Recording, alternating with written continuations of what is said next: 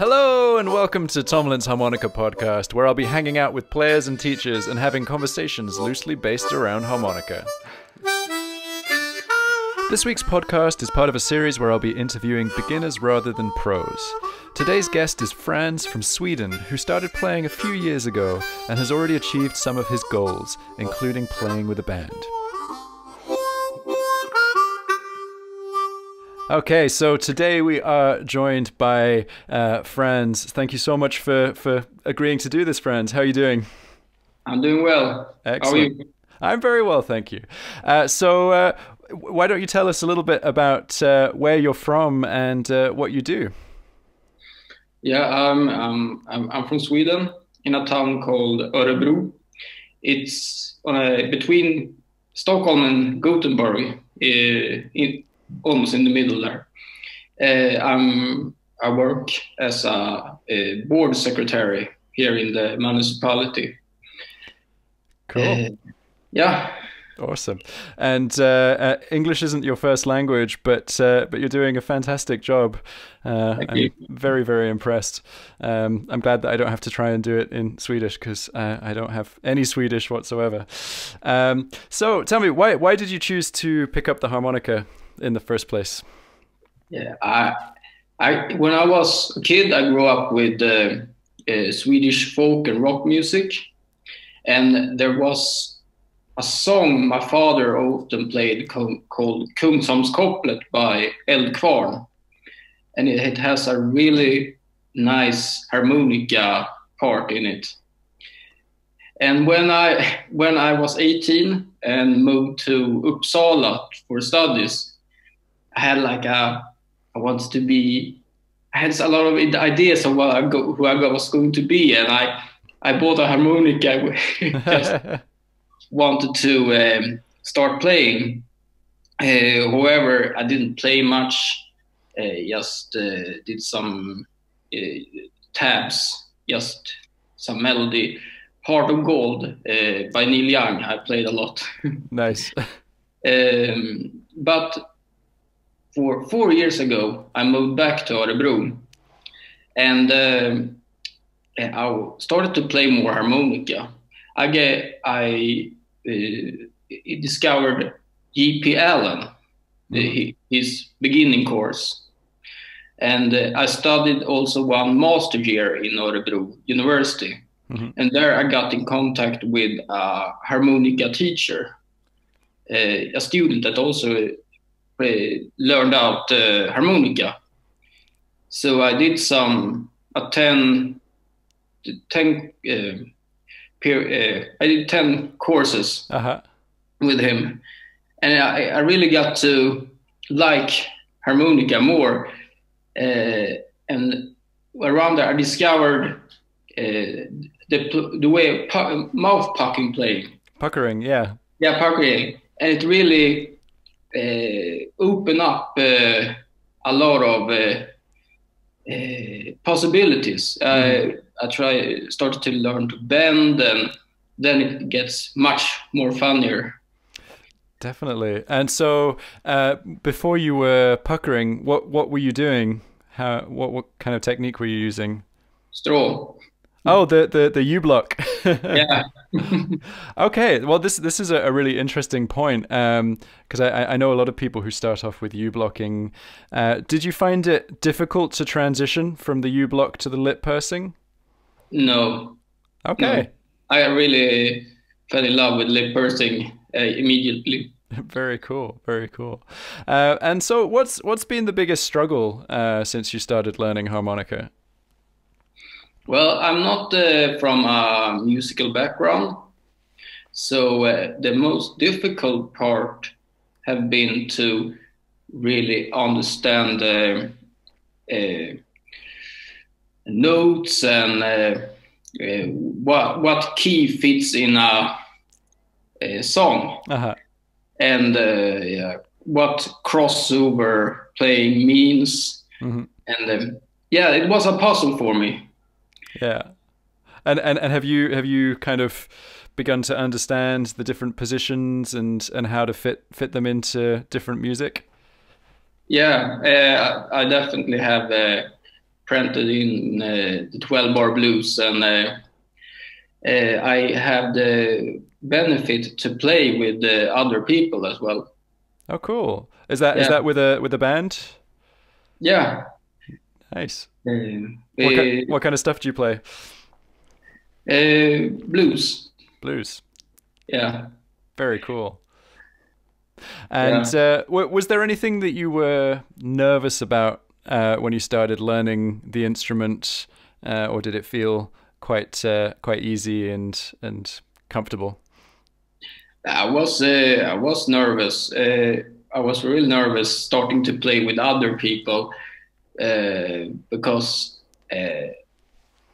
I you know they say they play in E and I say I need I know I need have an A harmonica. And uh, but there are so much more around that mm-hmm. uh, with the uh, music theory and melo- uh, me- melody and harmony? Yeah yeah and uh, I a friend there who play he works with music mm-hmm. he uh, actually uh, had some theory, music theory lessons with me in, in, exchange of going out with my boat and fishing. nice. yeah. So I, I really, uh, these last four years, I really uh, had a, I learned a lot, nice. both music and harmonica. That's great. Yeah, I think harmonica players, when they first start, they they think that they don't need to understand music theory and actually it makes learning a lot easier if you just have a little bit of knowledge of, of music theory and how melody fits in with harmony and all that kind of thing. Um, what what would you say is is kind of the, the biggest achievement that you've had so far on the instrument? What what kind of made you feel really great about it? Uh, well, uh, it, actually, I had a really uh, experience for these last two weeks. I had a meeting here uh, in, in my in, in, my apartment with some people that play harmonica, and many of them were real musicians who play other instruments, have and started to play uh, harmonica, and you can hear I hear heard that they play musical and they understand music. Mm-hmm. However, when we talked, I uh, I learned I, I I understand I knew the techniques better than many nice. of them, and they I talk, talked about how they could bend and uh, uh, well that two should be the root note uh, draw to. Uh-huh and such things. Um, and then I felt, yeah, I knew something. You know stuff. Yeah. yeah. That's very cool. That's very cool. And and what are your longer term goals uh, in in learning to play? Where do you want to go with the instrument?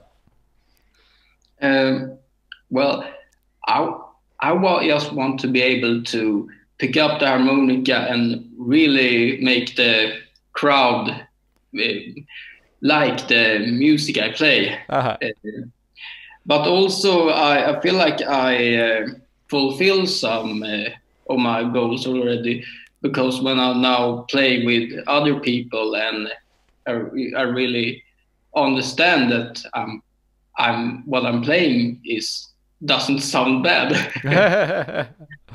yeah, that's that's a huge goal, and, and it's brilliant that you've you've already achieved it. It's uh, very cool.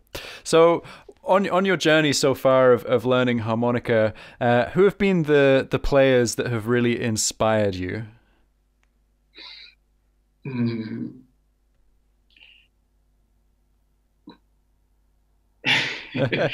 yeah, I, I, must say uh, because I, I played uh, a lot of folk in the beginning I would say Eldkvarn, who started mm-hmm. to playing, and uh, Neil Young, Bob Dylan. Uh, but it's starting to get harder to listen to Bob Dylan. it's a different way of, playing, but I still love his music. Uh, and recently, uh, I when I started to play more blues, uh, Howling Wolf, and uh, uh, all these blues, classical blues musicians. Mm. Very cool. It's it's an interesting transition. I think a lot of people a lot more people start playing harmonica because of Neil Young and Bob Dylan than anyone else. But but you know that usually people start with Neil Young and Bob Dylan, and then they start to hear some slightly more uh, kind of technically proficient uh, players, and they think, oh, there's there's more I can do with the instrument, uh, and it sounds like you've you've kind of tr- trod that path. Um, okay, so I'm going to put my teacher hat on and uh, and and check in and on how you're practicing. What's your what's your routine look like? Uh, on a good day, I I you have 15 minutes before I go to work. When I do the uh, just doing the, this month, I'm at the warm up, mm-hmm. and uh, then uh, I uh, this morning I, am now at Mount Nine on the inter. What's the word in English? Intermediate. Intermediate uh, course, and uh, I I did this uh, 16 notes. Mm-hmm. Uh, Coca Cola, Coca Cola. Yeah, yeah. Uh, and um, then I end by playing, uh, doing the um, putting all together um, uh, rumba. The rumba blues, very yeah, cool. doing it two times, and then I go to work. And uh, if I when I come home from work, uh, if I have time, some you know I'm all, I will, won't or not always have time to play, mm-hmm. but then I play more um, uh, technical and uh, okay. r- really more dig in with the metronome and such. Very cool. Very cool. Yeah, it's um I find that it's it's easier if you can play in the morning, if you can get just a little bit of time in the morning and then it's done. And it, it it's harder to play after your day is kind of over. Um, yeah. I if if I don't practice in the morning, I always say to myself, okay, I'll I'll I'll catch it later, but I never do. So it's it's something I've got to try and kind of get in there at the start of the day.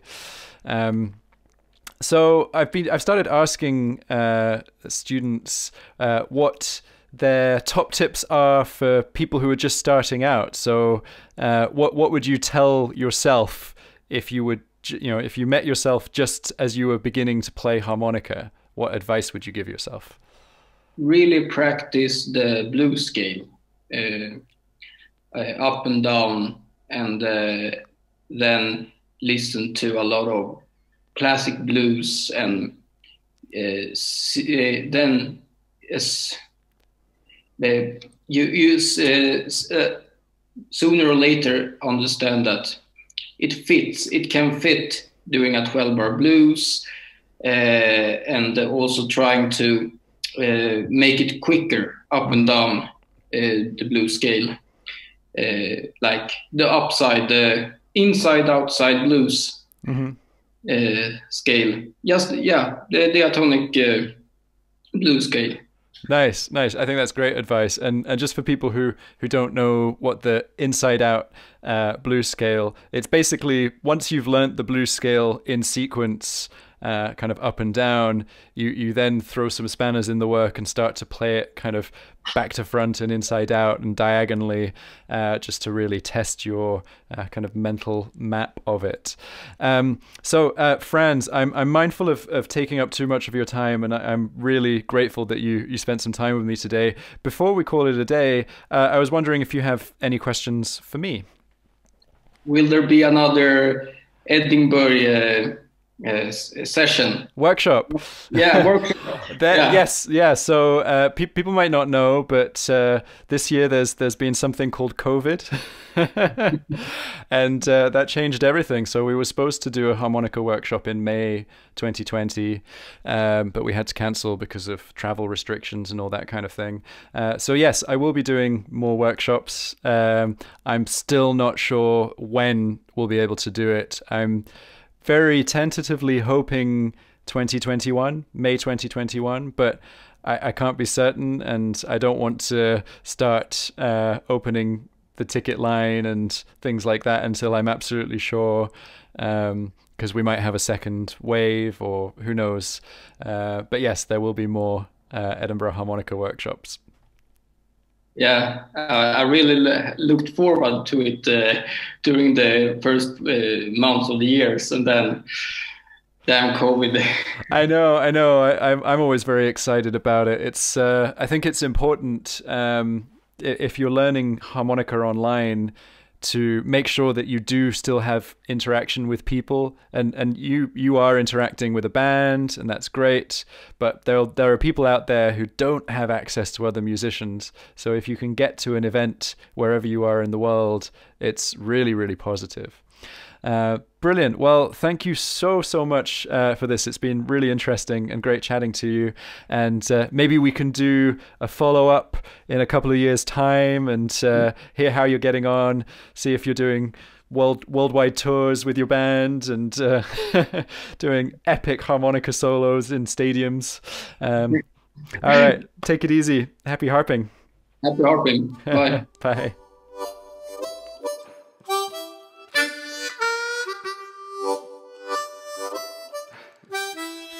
Thank you so much for listening to this episode of Tomlin's Harmonica Podcast.